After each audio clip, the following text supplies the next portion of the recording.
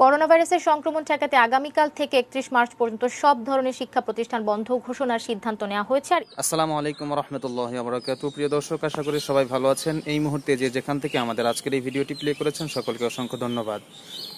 Corona ভাইরাসের সংক্রমণ ঠেকাতে আগামীকাল সতেরোই মার্চ থেকে একত্রিশে মার্চ পর্যন্ত দেশের সকল শিক্ষা প্রতিষ্ঠান বন্ধের ঘোষণা দিয়েছেন মাননীয় শিক্ষামন্ত্রী ডক্টর দীপুমণি এমপি। তো চলুন দর্শক, সচিবালয় থেকে তিনি কি ঘোষণা দিয়েছেন এখন আমরা তার মুখ থেকেই সেই ঘোষণাটি শুনব। করোনা ভাইরাস নিয়ে বর্তমানে যে বৈশ্বিক পরিস্থিতি বিদ্যমান তাতে বাংলাদেশে যদিও আমাদের পরিস্থিতি নিয়ন্ত্রণে রয়েছে এখনও এবং সংক্রমণের ঘটনাও অত্যন্ত কম, তবুও আমরা সতর্কতামূলক ব্যবস্থা হিসেবে সরকার সিদ্ধান্ত নিয়েছে যে দেশের সকল পর্যায়ের, সকল শিক্ষা প্রতিষ্ঠান আগামী একত্রিশে মার্চ পর্যন্ত বন্ধ থাকবে।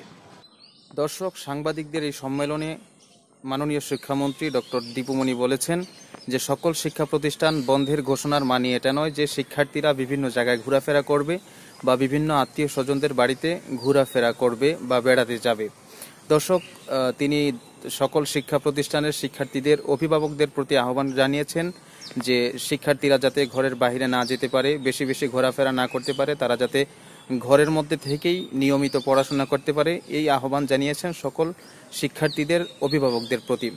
তো দর্শক, আমাদের বাংলাদেশ এখনও কিন্তু করোনা ভাইরাসে আক্রান্ত হয়নি বা সেই, তারপরেও অ্যাডভান্স সতর্কতার জন্য আগামীকাল সতেরোই মার্চ থেকে একত্রিশে মার্চ পর্যন্ত সব ধরনের শিক্ষা প্রতিষ্ঠান বন্ধের ঘোষণা দিয়েছেন সচিবালয় থেকে মাননীয় শিক্ষামন্ত্রী ডাক্তার দীপুমানি তাই দর্শক, আসুন আমরা আমাদের সন্তানদেরকে এদিক সেদিক না পাঠিয়ে ঘোরাফেরা করার সুযোগ না দিয়ে আমরা তাদেরকে বাসায় রাখার চেষ্টা করি এবং তাদেরকে পড়াশোনার মধ্যে রাখার চেষ্টা করি।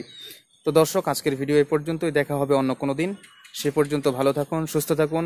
আর যদি আমাদের এই ভিডিওটি ভালো লেগে থাকে, তাহলে অবশ্যই ভিডিওর মধ্যে একটি লাইক দিন এবং আপনার মতামত কমেন্ট বক্সের মধ্যে করে যাবেন। আর পরবর্তী ভিডিও পাওয়ার জন্য অবশ্যই আমাদের এই চ্যানেলটি সাবস্ক্রাইব করে পাশের বেল বাটনটি অন করে যাবেন। দর্শক, মানুষদেরকে সতর্ক করে দেওয়ার জন্য, এই নিউজটি ছড়িয়ে দেওয়ার জন্য অবশ্যই আপনার বন্ধুদের সাথে বেশি বেশি আমাদের এই ভিডিওটি শেয়ার করুন।